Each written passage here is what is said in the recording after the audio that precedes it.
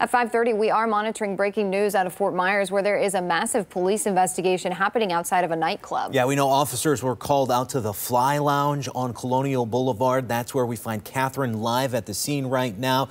Catherine, you were the first reporter on the scene. What can you tell us about the situation there?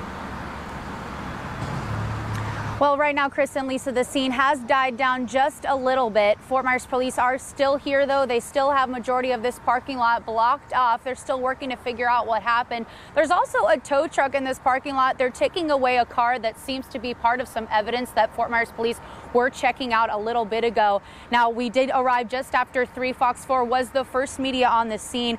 We noticed that multiple police officers with the Fort Myers Police Department were here, at least 10 that we saw.